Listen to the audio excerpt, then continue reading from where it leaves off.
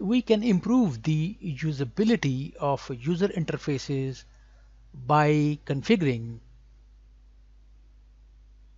fonts and colors. LabVIEW defines the built-in fonts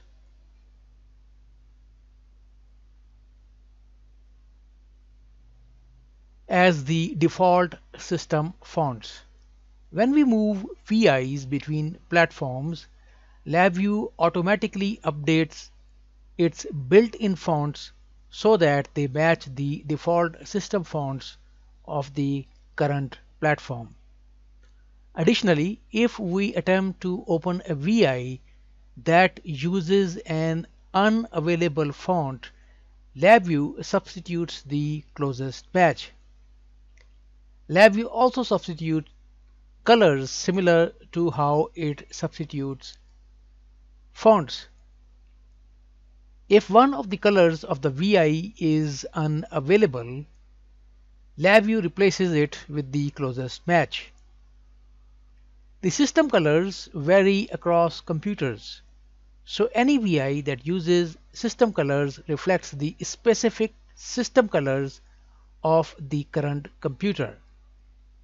The system colors also defines the appearance of panel and object, window and highlight and the color of the text that appears on top of these system colors.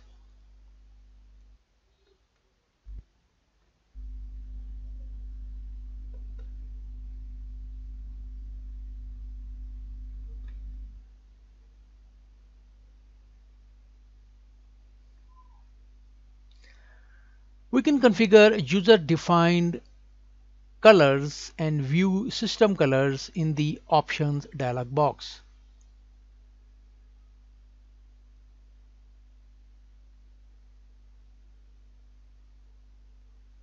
in the environment category and we can also view and change the default LabVIEW system fonts.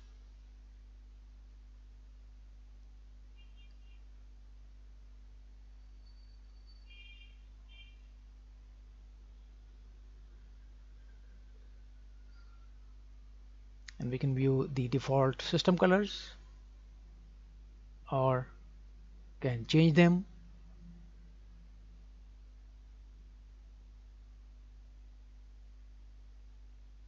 and we can also view the named user colors that are shown in the color picker.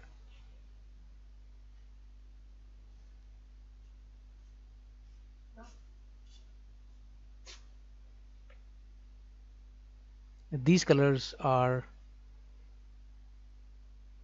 visible